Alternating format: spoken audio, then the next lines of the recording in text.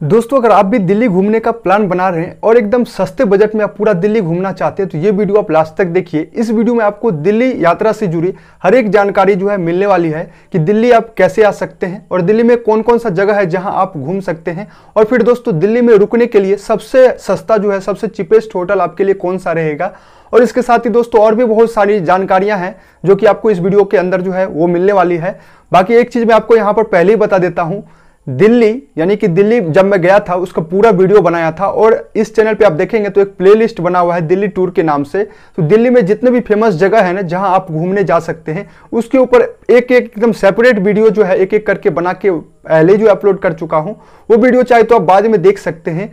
लेकिन इस वीडियो आपको पूरी जानकारियाँ जो है दिल्ली यात्रा से जुड़ी, यानी दिल्ली दर्शन से जुड़ी जो है मिलने वाली है। तो चलिए दोस्तों, फटाफट वीडियो को शुरू करते हैं। उससे पहले अगर चैनल को सब्सक्राइब नहीं किए तो सब्सक्राइब कर लीजिए। वीडियो पसंद आए तो वीडियो को लाइक करके एक प्यारा सा कमेंट ज़रूर करें। तो दोस्तों, यहाँ पर सबसे पहले मैं आपको बताने वाला हूँ कि दिल्ली आप कब जाएँ? यानी दिल्ली अगर घूमने का प्लान बना रहे हैं तो सबसे अच्छा जो है टाइम सबसे अच्छा मौसम कौन सा रहेगा? यहाँ पर देखिए, दिल्ली अगर आप गर्मी के दिनों में जाते हैं ना, यानी गर्मी के दिन, समझ जाइए कि अगर मई, जून में, अगस्त, यानी मार्च से लेके और फिर आप सितंबर तक अगर जाते हैं तो फिर आपको दोस्तों गर्मी से परेशान हो जाएँगे, सही से घूम भी नहीं पाएँगे, क्योंकि गर्मी में जो है दिल्ली का टेम्परेचर काफ़ी ज़्यादा हाई रहता है, बाहर निकलना एकदम मुश्किल हो जाता है। तो दोस्तों, आप जो है ठंडी के टाइम में दिल्ली जो है आराम से घूम सकते हैं। अब दोस्तों, बात करते हैं कि आप दिल्ली जो है कैसे आ सकते हैं। दोस्तों, दिल्ली आप तीन तरीके से आ सकते हैं। पहला दोस्तों बाय रोड बाय रोड अगर आपके पास खुद का बाइक है या फिर कार है या फिर बस की मदद से आप जो है दिल्ली आ सकते हैं। इसके बाद दोस्तों बाई ट्रेन जो कि सबसे एकदम सस्ता जो है पड़ेगा आपको दिल्ली आने के लिए। आप अपने शहर से, कोई भी नज़दीकी स्टेशन से दिल्ली का ट्रेन का टिकट ले लीजिए, आप डायरेक्ट दिल्ली आ जाइए। इसके बाद है दोस्तों बाई फ़्लाइट बाय प्लेन के ज़रिए भी आप दिल्ली आ सकते हैं। आप अपने जो शहर में है, एयरपोर्ट होगा, वहाँ से डायरेक्ट जो है न्यू दिल्ली एयरपोर्ट के लिए टिकट ले लीजिए फ़्लाइट का और फिर डायरेक्ट वहाँ से दोस्तों आप आ सकते हैं। टिकट की प्राइस चेक करना हो तो दोस्तों ट्रेन का टिकट हो या फिर दोस्तों आप फ़्लाइट की टिकट हो, आप ऑनलाइन जो है चेक कर सकते हैं क्योंकि टिकट का प्राइस जो है हमेशा कम ज़्यादा होते रहता है। अब दोस्तों दिल्ली में अगर होटल की बात करें कि आप कौन सा सबसे सस्ता होटल लेगा जहाँ आप आराम से एकदम रुक सकते हैं तो यहाँ पर दोस्तों देखिए होटल की जो प्राइसिंग रेंज है ना तो यहाँ पे प्राइस जो है हज़ार से चालू हो जाता है स्टार्टिंग होता है हज़ार से। और हज़ार से आपको हज़ार बारह सौ, ग्यारह सौ, पंद्रह सौ, फिर उससे ऊपर आप जितना मर्ज़ी चाहे उतना ऊपर जो है आप रूम ले सकते हैं। तो यहाँ पर अब जो है मिनिमम जो है स्टार्टिंग प्राइस वो हज़ार रुपये से रूम का जो है आपको होटल का वो रूम मिल जाएगा। अब अगर दिल्ली में खाने की बात करेंगे तो दिल्ली में आपको पूरे दिल्ली के अंदर की बात कर रहा हूँ। भरपेट खाना आपको दोस्तों वो डेढ़ सौ से दो सौ रुपये के अंदर मिल जाएगा।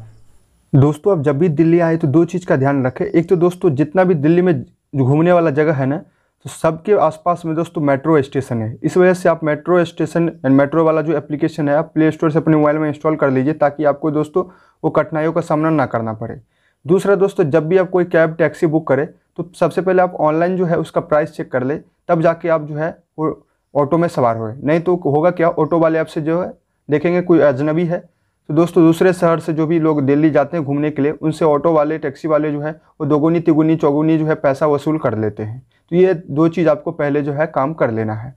अब दोस्तों, देखिए, घूमने वाला सबसे पहला जो जगह है ना, हम नंबर वन पे बात करेंगे, लाल किले के बारे में, रेड फोर्ट जिसको बोलते हैं। तो दोस्तों, देखिए, लाल किला अगर आप आना चाहते हैं तो कैसे आएँगे? वैसे तो दोस्तों, आप बस से भी आ सकते हैं, चांदनी चौक से सिटी बस या ऑटो से जो है लाल किला आप आ सकते हैं। अगर दोस्तों, देखिए, लाल किला के आसपास में मेट्रो स्टेशन है, जो कि लाल किला मेट्रो स्टेशन है, और यहाँ से लाल किला की दूरी सिर्फ़ एक किलोमीटर की है। तो लाल किला मेट्रो स्टेशन अगर आप आते हैं तो वहाँ आपको दोस्तों ई रिक्शा मिलेगी, जो कि दस रुपये में आपको लाल किला तक छोड़ देगी। दोस्तों, सोमवार के दिन जो है लाल किला बंद रहता है, और यहाँ पर एक जानकारी और दे दूँ, दिल्ली जब भी घूमने आए तो अब सोमवार को ना आए, क्योंकि दोस्तों, सोमवार को ज़्यादा जगह जो है वो बंद ही रहता है। जैसे दोस्तों, ये लाल किला हो गया फिर लाल किला के बाद आप बात करेंगे, लोटस टेंपल हो गया, अक्षरधाम मंदिर, ये सब जो है बंद रहता है। तो इस वजह से दोस्तों आपको इस चीज़ का जो है थोड़ा ध्यान रखना है। अब यहाँ पे टाइमिंग की बात करेंगे तो लाल किला जो खुलने का टाइम है ना, आठ बजे से शाम के छः बजे तक है। आप आराम से जा सकते हैं सुबह में आठ बजे से शाम के छः बजे तक। टिकट प्राइस की बात करें तो पर पर्सन आपको दोस्तों यहाँ पे जो है अस्सी से सौ रुपये के बीच लगने वाला है। प्राइस जो है हमेशा चेंज होते रहता है, संडे को कुछ ज़्यादा प्राइस रहता है और नॉर्मल दिन आप देखेंगे तो एट्टी रुपीज़ जो है पर पर्सन रहता है। दोस्तों, लाल किला में हर शाम को एक भव्य लाइट एंड साउंड शो का आयोजन किया जाता है। यह शो एक घंटे का होता है। चाहे तो आप ये भी देख सकते हैं, बहुत ही मज़ा आएगा देखने में। अगर पूरा लाल किला घूमने की बात करेंगे तो आपको करीब पूरा लाल किला अगर घूमना चाहते हैं तो तीन से चार घंटे का टाइम जो है, वक्त जो है वो आपके लग सकता है। अब दोस्तों बात करेंगे नंबर टू पे आने वाली जामा मस्जिद की। दोस्तों, लाल किला से सिर्फ़ डेढ़ किलोमीटर की दूरी पे जामा मस्जिद स्थित है और जामा मस्जिद के आगे एक मार्केट लगती है जो कि काफ़ी फ़ेमस है, पटरी मार्केट। पटरी मार्केट में यहाँ पर आपको दोस्तों इलेक्ट्रॉनिक्स के और फ़ैशन के सभी सामान जो है एकदम सस्ते दामों में मिल जाएँगे। दोस्तों, जामा मस्जिद सप्ताह के सभी दिन खुली रहती है और टाइमिंग की बात करेंगे तो सुबह सात बजे से शाम के सात बजे तक आप जामा मस्जिद के अंदर जो है जा सकते हैं। एंट्री फ़ी दोस्तों एकदम फ्री है, एक भी पैसा आपको यहाँ पर नहीं देना पड़ेगा। अब यहाँ पर दोस्तों सबसे जो फ़ेमस है दिल्ली का, वो है इंडिया गेट इंडिया गेट आप जाइए। अब इंडिया गेट के नियर बाय मेट्रो स्टेशन की बात करेंगे तो दोस्तों केंद्रीय सचिवालय जो कि इंडिया गेट के पास में आता है। अब इंडिया गेट आप जो है बस और ऑटो से भी आ सकते हैं। इंडिया गेट सप्ताह के सभी दिन जो है खुला रहता है। टाइमिंग की बात करेंगे तो आप जो है इंडिया गेट घूमना चाहते हैं तो सुबह सात बजे से रात के दस बजे तक जा सकते हैं। दोस्तों, रात के टाइम में इंडिया गेट घूमने का एक अलग ही मज़ा है, क्योंकि रात में यहाँ लाइट शो का आयोजन किया जाता है। जो कि दोस्तों देखने में काफ़ी भव्य लगता है। एंट्री फ़ी की बात करेंगे तो इंडिया गेट में आपको एक भी एंट्री फ़ी जो है नहीं लगता है, एकदम फ्री है। आप आराम से जा सकते हैं। अगर दोस्तों आप इंडिया गेट जाते हैं तो आप राष्ट्रीय समर स्मारक, राजपथ और राष्ट्रपति भवन भी ज़रूर घूमें, क्योंकि यह सभी जो है लोकेशन इंडिया गेट के आसपास में ही है। नंबर चार पे आता है जंतर मंतर।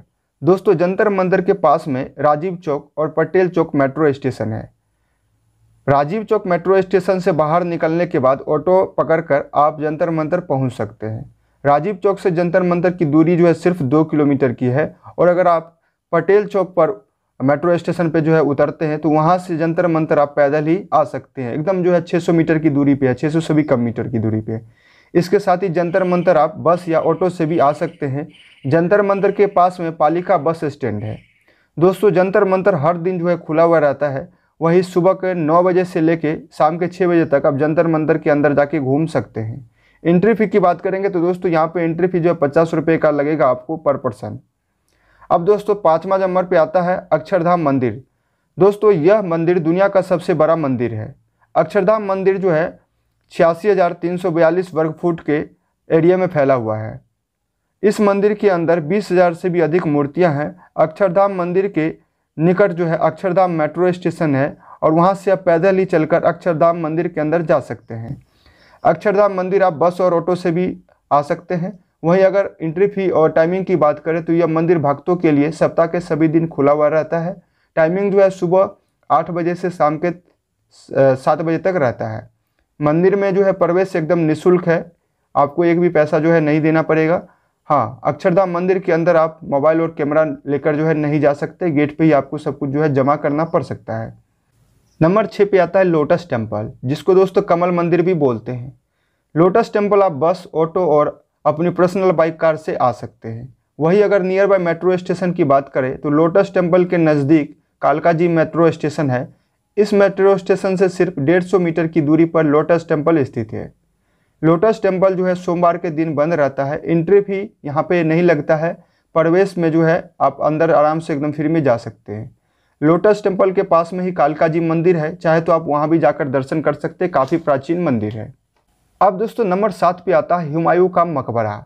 हुमायूं का मकबरा निज़ामुद्दीन रेलवे स्टेशन से तीन किलोमीटर की दूरी पर स्थित है। स्टेशन के बाहर आप ऑटो और बस के ज़रिए जो है हुमायूं के मकबरे तक पहुँच सकते हैं।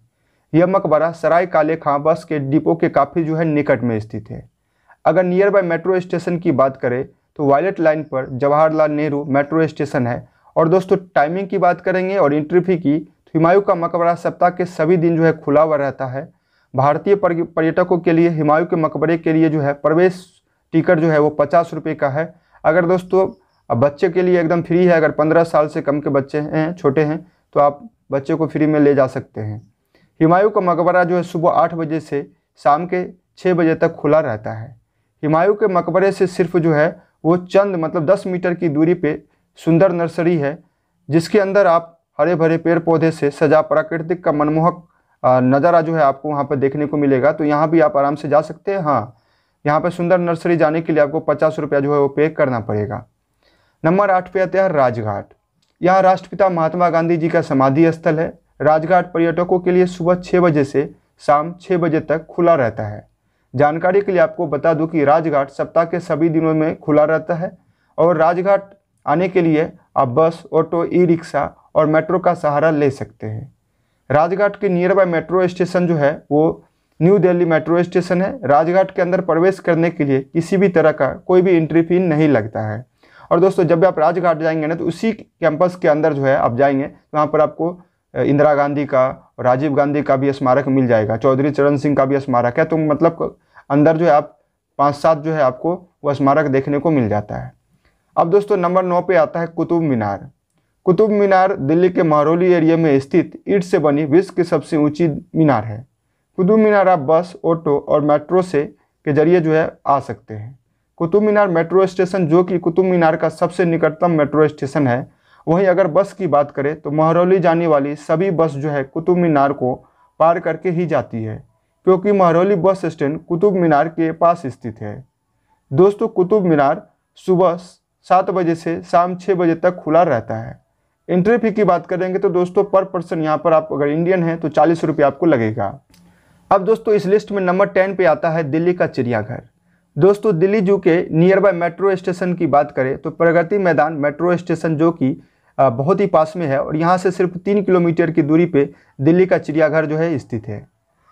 चिड़ियाघर प्रत्येक शुक्रवार को बंद रहता है और समय की बात करेंगे तो आप सुबह जो है नौ बजे से शाम के पाँच बजे के बीच में चिड़ियाघर जाके लुत्फ जो है वहाँ का उठा सकते हैं।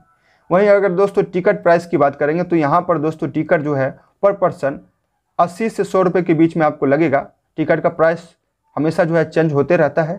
अगर दोस्तों कोई बच्चा है तो फिर चालीस रुपये आपको पे करना पड़ेगा। इसके अलावा दोस्तों, दिल्ली में और भी कई सारे घूमने की जगह हैं। जैसे दोस्तों, सरोजिन, सरोजनी नगर मार्केट है, काफ़ी फ़ेमस मार्केट है। चांदनी चौक, जो कि दोस्तों सबसे पुराना मार्केट है दिल्ली का। नेशनल म्यूज़ियम है, नेशनल रेल म्यूज़ियम है। रेल म्यूज़ियम में आपको पुरानी जितनी भी ट्रेनें हैं, सब वहाँ पर वाश व्यंजन वाली सब देखने को मिल जाएगी। कॉर्नक प्लेस है, जहाँ से दोस्तों गुरुद्वारा, बंगला साहिब एकदम बहुत ही पास में है तो यहाँ भी जाके आप माथा जो है टेक सकते हैं। अब दोस्तों, पूरा दिल्ली घूमने का जो बजट है बजट की बात करें तो दोस्तों आप पूरा दिल्ली जो है तीन दिन में घूम सकते हैं। एकदम तीन दिन में पूरा दिल्ली घूम सकते हैं। जो भी फ़ेमस जगह है, वहाँ आप जा सकते हैं। अगर बजट की बात करेंगे, दो लोग जो है, दो लोगों को पूरा दिल्ली घूमने में जो है छः से आठ हज़ार रुपया लगेगा। पूरा दिल्ली जो है, आपका टूर हो जाएगा। बाकी अगर आपके ऊपर है कि आप कितना जो है खर्चा करते हैं, वो सब आपके ऊपर है। अगर नॉर्मली देखा जाए तो दोस्तों, दिल्ली को जो है तीन दिन में घुमाया घूमा जा सकता है और जो बजट रहेगा, वो छः से आठ हज़ार के बीच में रहने वाला है। बाकी दोस्तों, अगर दिल्ली टूर से जुड़े आपके मन में कोई और सवाल है तो दोस्तों, आप मुझसे कमेंट करके ज़रूर पूछें। बाकी उम्मीद करता हूँ, यह वीडियो या जानकारी आपको पसंद आया हो तो वीडियो को लाइक शेयर करके चैनल को ज़रूर सब्सक्राइब कर दीजिए। मिलते हैं दोस्तों, अगले वीडियो में। तब तक के लिए जय हिंद, वंदे मातरम।